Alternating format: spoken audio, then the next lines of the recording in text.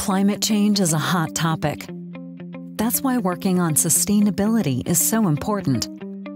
Companies have a responsibility to contribute to this. That is how we build a greener world. There's an increasing awareness to protect our natural environment. At the same time, the world population is growing and that puts pressure on our resources. People don't want to change the way they live. And that brings a collective responsibility to do more with less, to better use the available resources to protect our planet for future generations. Companies have the responsibility to align their economic goals with responsible social and environmental behavior. That is the only way how we can create value for all stakeholders.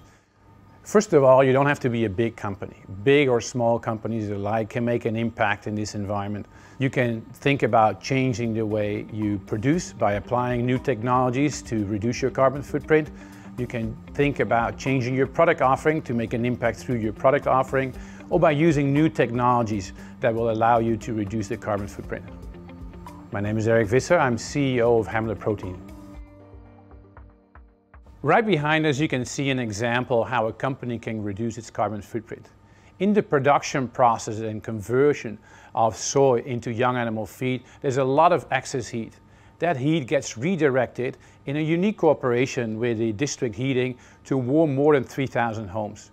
And by warming these homes with excess heat, we reduce the need to buy biofuel or imported natural gas. This is making a real impact.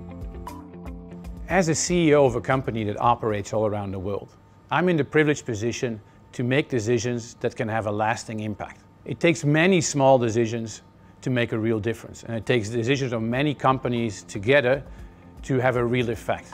I believe those decisions should be driven by a true commitment and desire rather than by government relationships, because I think it's the right thing to do.